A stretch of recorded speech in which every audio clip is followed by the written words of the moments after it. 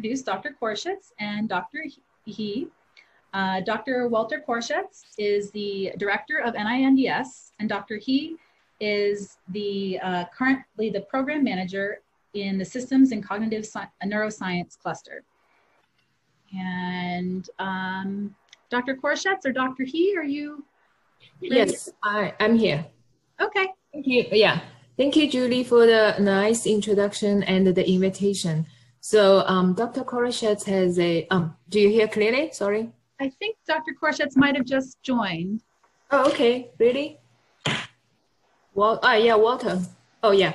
He has a prior, um, let me use my, is the video, uh, is the audio okay? Or do I need microphone? You sound great. Oh, okay. Sounds good. Yeah. So he, he has a, um, a schedule conflict with a um, previous engagement, so uh, commitment. So he, he will join and chime in, but I don't know how long he can stay. So I'll provide the brief overview of NINDS funding for sleep research. Next slide, please.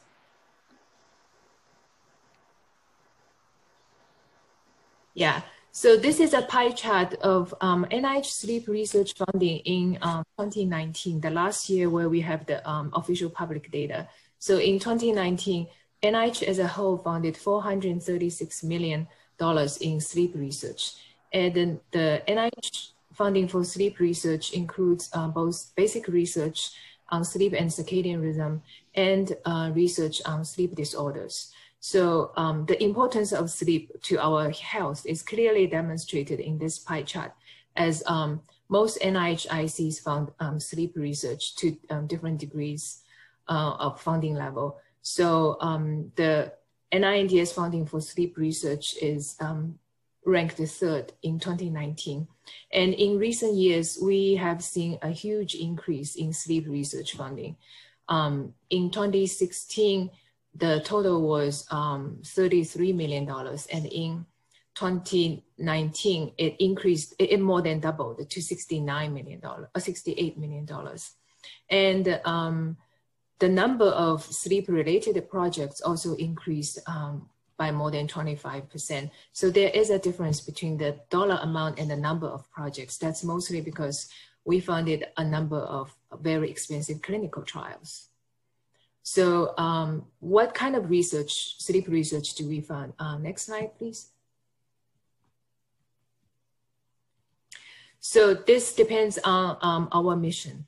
The mission of NINDS is to seek fundamental knowledge about the brain and the nervous system, and to use that knowledge to reduce the burden of neurological disease for all people. Um, because of our mission, the sleep research we found um, include neuroregulation of sleep and circadian rhythm and the impact of um, sleep and circadian regulation on the nervous system in both health and disease. So um, the sleep research portfolio NINDS funds um, is a um, balance of both basic research, translational research, all the way to clinical research. And our definition is slightly different than some other institutes use. So next slide, please. So I'll do, um, briefly walk you through the um, kind of definition we have for um, different uh, research. So the we have four different types of research. We categorize the research we found by four different types. So the first big part is basic research. It's aimed at understanding the structure and the function of the nervous system. Under that, we have two subgroups. Basic basic, which is aimed at understanding the normal nervous system. And the basic disease focused is um, understanding the disease mechanism, for example, narcolepsy research, a basic research on narcolepsy. Um, and and also we have the applied research, which is aimed at developing or testing diagnostic therapeutic agents or preventive um, interventions. So under that, we have the translational research, um, which is up to but not including um, the first in human studies. And the last one is the clinical research. They include first in human studies all the way to clinical um, trials. As I mentioned before, for our funding, because clinical trials, clinical research are usually more expensive than basic research. So we, we've seen uh, a discrepancy in the dollar amount versus the number of applications NINDS found on sleep research. And in 2013, um, when we did our strategic planning process, we noticed that um, NINDS as a whole um, have a significant drop in the number of um, basic research grants. And the reason for that was the um, PIs are not submitting as many applications uh, focusing on basic research. So we issued a um, promoting basic new, uh, research PAS and sleep researchers have um, benefit from that research uh, initiative um, tremendously. Next slide, please. Um, so I want to briefly walk you through how do we make um, funding decisions. And I borrowed this slide from uh, Dr. Koroshetz's one most recent um, council presentation. Um, so um, to advance our mission, we constantly surveying um, the scientific landscape and analyzing our portfolio to ensure the holistic health of science effort. And most of our competing um, budget funds investigator-initiated research with an annually established pay line. Um, that's the majority. But also we um, uh, actively manage our portfolio by offering different programs and funding opportunities. Um, for example, the BRAIN initiative, uh, brain research through ad advancing innovative technology to capitalize on the scientific opportunities the um, scientific tools. And also to fill the gap, as I just mentioned, we have a basic neuroscience um, program announcement was set aside to stimulate the basic research. And also we um, meet public health challenges, for example, the uh, Alzheimer's disease and related dementia initiative, the HEAL initiative, um, helping to end addiction long-term, and the most recent COVID-19 initiative, uh, which I will um, uh, discuss briefly later.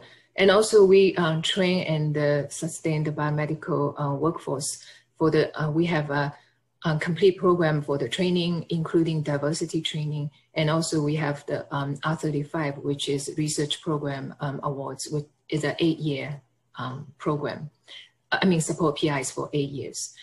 And also we have the select pay program to pay applications beyond the pay line. Um, and for example, we have um, bridge awards to investigators without other lab support to prevent the loss of human and infrastructure. And we help investigators. Um, these are people, um, early stage investigators. These are people within 10 years of terminal degree. And we um, help, we offer them a better pay line so their success rate can equalize with those of more established investigators and also grants with um, that could bring diverse perspectives to excellent science. These include tools, skills, or the um, diverse workforce. And also we have high risk, potentially high impact applications that offers exceptional opportunities for um, progress. So I'm happy to report that um, the NINDS sleep research, NINDS funded sleep researchers have taken advantage of um, most of these um, different programs, opportunities, selective pay um, programs like um, proposals on narcolepsy, restless leg syndromes. We've paid them above our pay, pay line. Uh, next, please. So the COVID-19, as we all know, uh, we are at the COVID-19 pandemic, but we don't know as much um, uh, about neurological compli complications of COVID-19. So as such, um, we issued a notice of special interest um, offering um, availability of competitive revisions and administrative supplements um, we offered two of them. The first one is uh, uh, research on biological effects of 2019 novel coronavirus on the nervous system.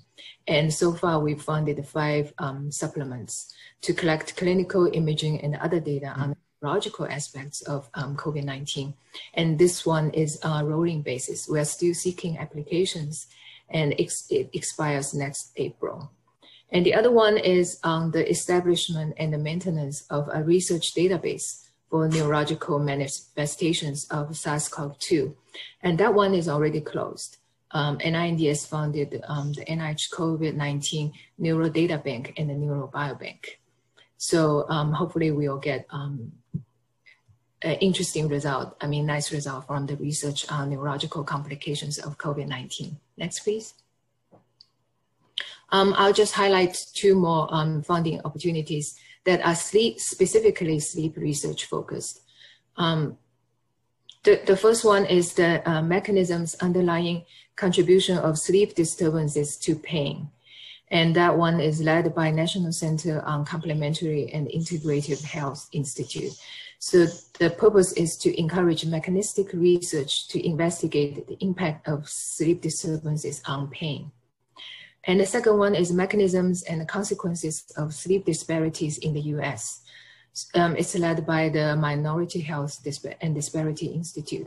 The purpose is to promote research to understand the underlying mechanisms of sleep deficiencies among US population that experience health disparity and how sleep deficiencies may lead, lead to disparities in health outcomes.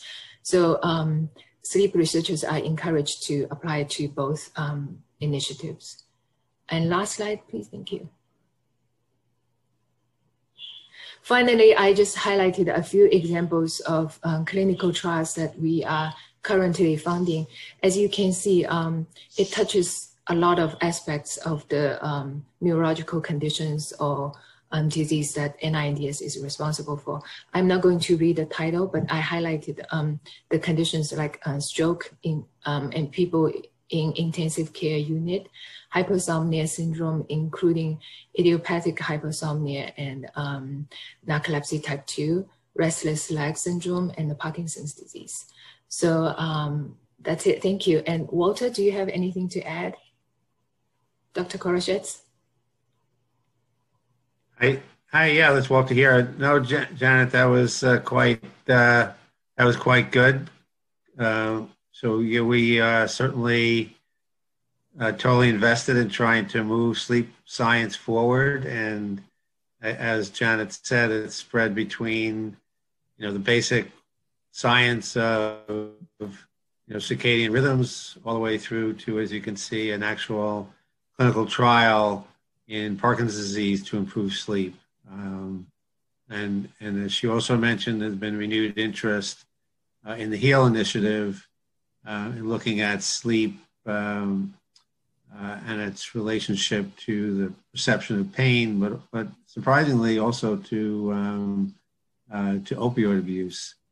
Um, so yeah, we're happy to you know to work in this space with uh, with Jim Kiley from NHLBI particularly, and um, happy to hear from folks. I as Janet mentioned, I have to run to another meeting at uh, one o'clock, but happy to take part in the discussion.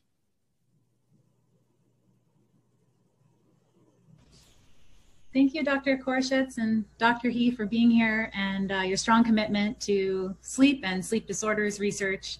Uh, it's so appreciated. And it was wonderful to meet you guys uh, in person. I can't remember if that was February or November, back in the good old days. So hopefully we'll be together again soon.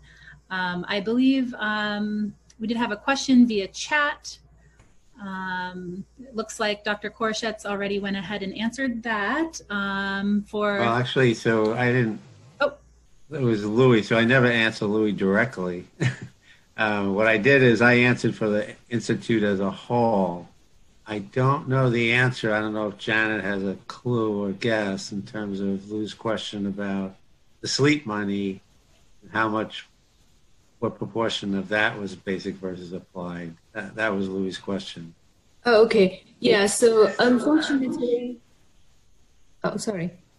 Um, unfortunately, in 2019, we don't have the internal um, basic clinical, the four categories subdivision um, data yet, but um, in 2018, about half is basic basic research. So that's mostly driven by investigator, um, the number of applications investigators submits. And then about 20% is basic disease focused. And uh, clinical trial is about 20%. And translational research is about 5%. And I, I suspect in 2019, when the number is 69, the clinical component is probably 30 or 25 at least. But we don't have the um, data yet. All right. Thank you guys so much again. And um, I've just realized that I've already not followed my own guidelines, which we were going to wait for questions until the end of the panel.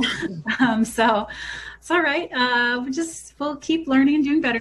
So next we're going to have, um, Before I go, I'm going, let me just ask, that. I wondered if people could address if they have any information on uh, sleep disorders in post-COVID patients. That's something we're interested in now. I don't know if, if- but if you could let Jan- Janet know if you have information there, that would be helpful.